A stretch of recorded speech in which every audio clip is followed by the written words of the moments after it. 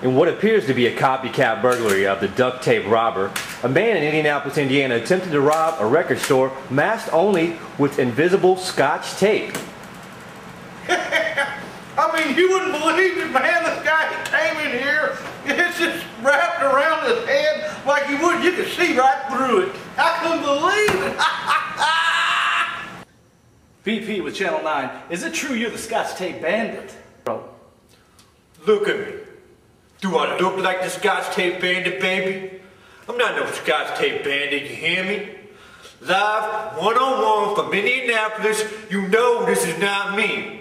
Now do the math, do the homework, man.